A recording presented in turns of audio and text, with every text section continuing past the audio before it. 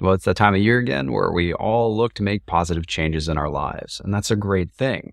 The question is, how do we make these changes effectively? What tools do we use to get from where we are to where we want to be? We have resolutions, intentions, goals, plans. But what exactly are they, and what is the difference between them? It's not as obvious as it may appear.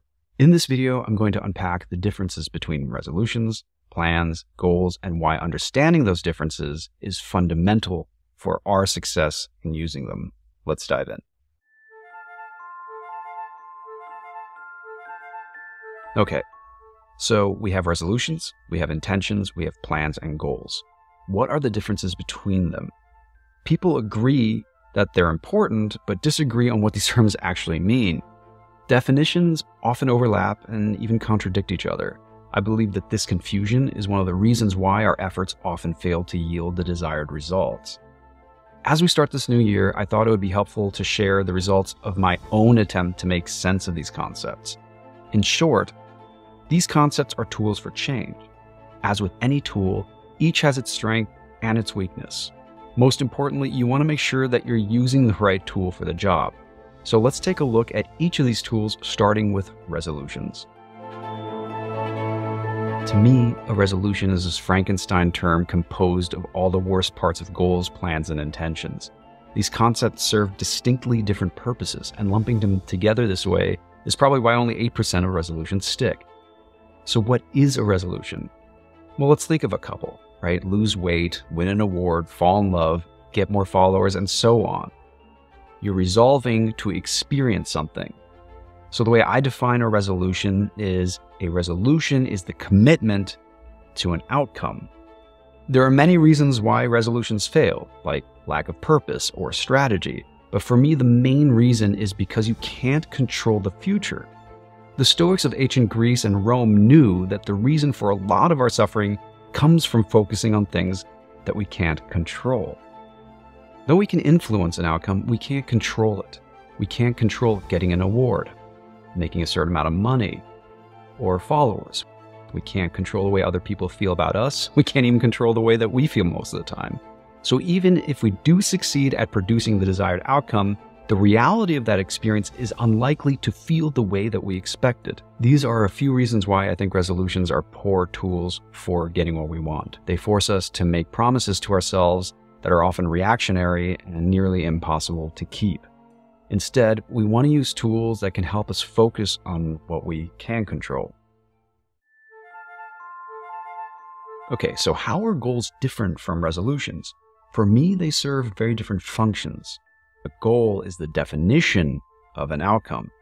For me, a goal is a navigational tool. They serve to transform vague ideas into very specific targets that we can aim for. They require us to both think about what we want and articulate it. The more specific the definition, the more focused we can be. It's the difference between lose weight and lose 10 pounds of body fat. I talk more about how we can use goals as lighthouses in this video, but the short version is that goals can provide us with the direction that we need to get from where we are to where we want to be. The question is, how do we get there? Benjamin Franklin once wrote, By failing to plan, you're preparing to fail. And I think there's a lot of truth in that. There is a distance between your reality and the reality represented by your goal. Transitioning between those two realities is a process. A plan is a definition of a process. A well crafted plan is about taking intentional action. It will focus on what we can control, it will have the largest likelihood of moving us toward our goal. That is why we have to have a goal before we make plans. As John Lennon once said, life is what happens to you while you're busy making other plans.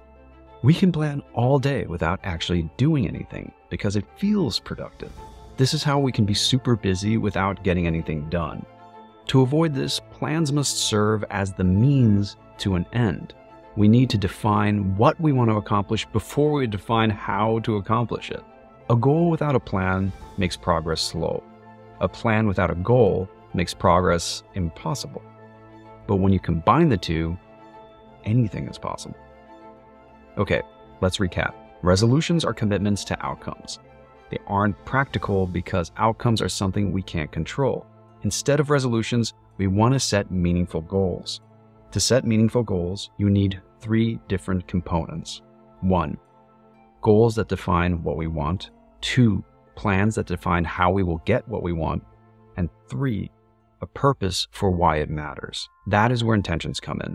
And that is something that I'll be covering in our next video in this series. So please be sure to subscribe and turn on notifications to find out when it goes live. If you can't wait till then, be sure to check out the accompanying article that I wrote on our blog. Links to that in the comments below. I hope you found this video useful. If so, please like this video and subscribe to our channel. If you have any questions, please leave them in the comments below. Thank you for taking the time. Happy bullet journaling, and I'll see you in the next one.